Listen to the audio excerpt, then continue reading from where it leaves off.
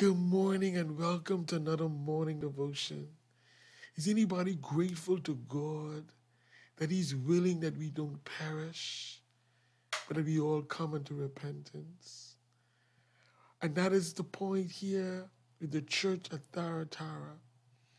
Paul wrote in Galatians 1, verse 6 through 8 I marvel that ye are so soon removed from him that called you unto the grace of Christ unto another gospel, which is not another, but there be some that trouble you and would pervert the gospel of Christ. But though we or an angel from heaven preach any other gospel unto you than that which we have preached unto you, let him be accursed. The church of Thyatira tolerated the teaching of the false prophetess Jezebel. God commended them for all their good works. I love how God lifts up his people.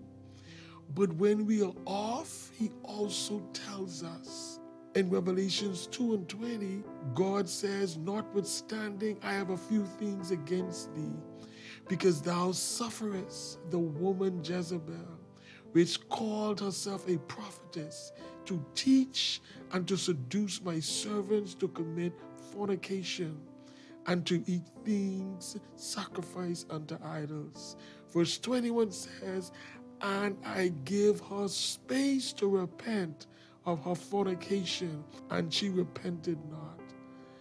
God, God don't want us to tolerate teachings of the devil.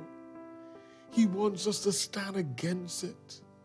He wants us to speak against it. We may can't stop people from teaching, but we should not tolerate it. In other words, when we tolerate it, it allows it to grow among us. It comes and influences us. It comes and seduces us like it did in this church, Thyatira. But God is calling us to repent and not to tolerate false teaching. Paul says that it must be a curse. Let it be a curse to anyone who teaches against the teachings of the gospel.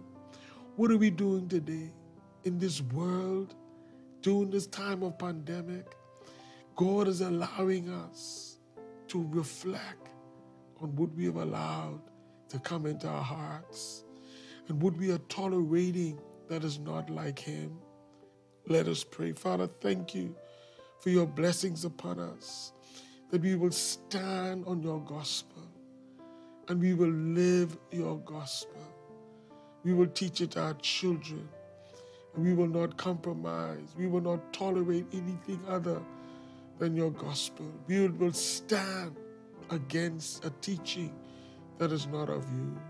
I pray for those who lead the nations through this time of pandemic. Touch them. May they take heed to the gospel of Jesus. I pray, God, for those who are in the front line of this fight. I pray, Father, for our medical professionals, our essential workers, our law enforcement, everyone out front, that you will touch us and you will help us. Forgive us of our sins, cleanse us from unrighteousness, heal the sick, hallelujah. Deliver those that are in bondage today, and even the body of Christ that are tolerating the teachings of Jezebel, the teachings that are false. I pray that we will indeed be delivered. Thank you, God, for the space you've given to us to repent. Help us to do it. We give you praise, honor, and glory in Jesus' name. Amen. Amen. God bless you as you devote with your families today. Consider what God has said to us and let's repent. God bless you. Have a great day.